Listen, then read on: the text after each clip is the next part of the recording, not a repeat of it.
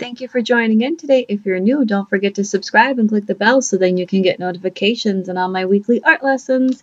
And today I have um, uh, an acrylic painting here. This is a speed paint of the Northern Lights. And I'm just going to show how to layer some of the color here, especially with a, a, painting like this. I have about three layers of paint in the sky that you'll see, and how I blend and mix everything.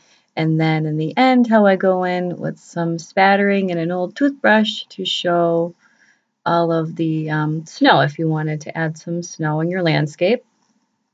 And I'm actually testing out a new, like a sketch pad, I guess you'd call it there. Like a painting sketch pad, little notebooks.